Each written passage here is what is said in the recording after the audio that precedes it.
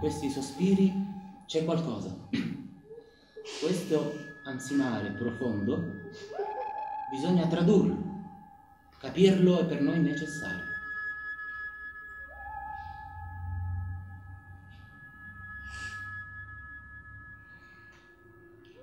Lasciateci soli comunque.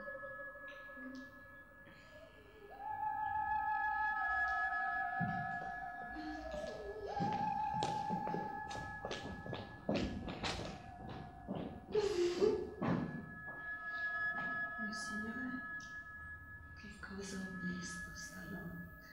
Che cosa? Come sta Milady? Pazzo!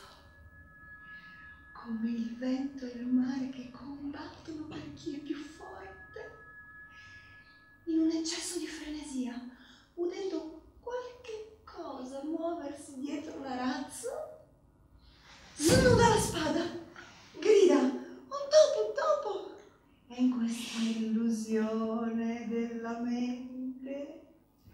Uccide il buon vecchio senza vederlo.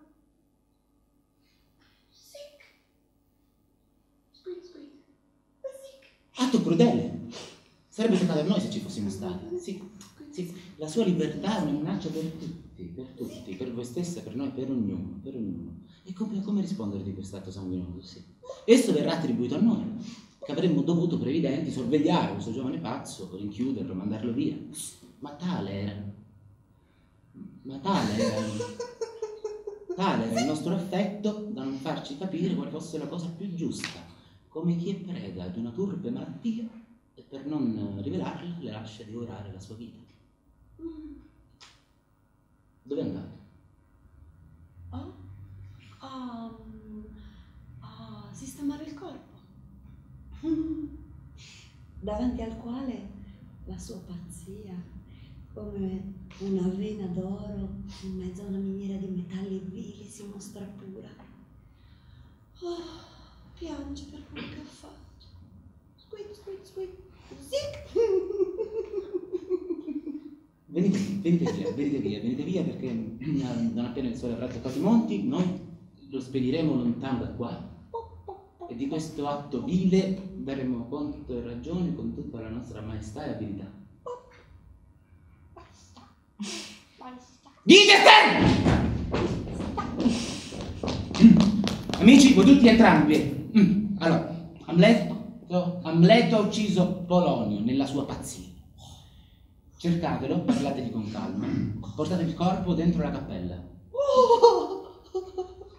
Mi raccomando, affrettatevi, affrettatevi, affrettatevi. Affrettatevi! Gertrude, Gertrude, chiamiamo più saggi tra i nostri amici, diamo loro notizia di quello che è successo, ecco, di quello che intendiamo fare. Così la calunnia, che scarica il suo colpo avvelenato sul mondo intero, come il cannone che mira al suo bersaglio, forse, forse mancherà il nostro nome e colpirà l'aria invulnerabile.